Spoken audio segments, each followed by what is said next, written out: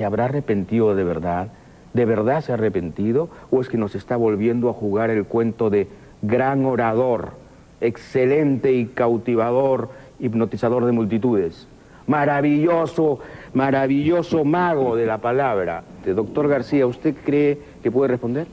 Yo no usaría el término arrepentido. Diría que los años hacen pensar, reflexionar y por ende reconocer lo que puede haber habido de errores sin dejar lo que ha habido de aciertos.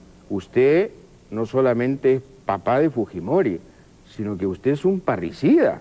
No. Usted mató a Lapra. Y era preso su papá. ¿Por qué no va conmigo al local de Alfonso Ugarte? Ahora Y resucitado. usted a la. Ahora resucitado. Ah, ¿Ve usted las cosas que dice? Por eso, pues, en política no hay cadáveres, pero lo que sí hay es gente que sufre y muertos. Naturalmente. Y lo que vemos es un doctor García que parece no haberse arrepentido de nada.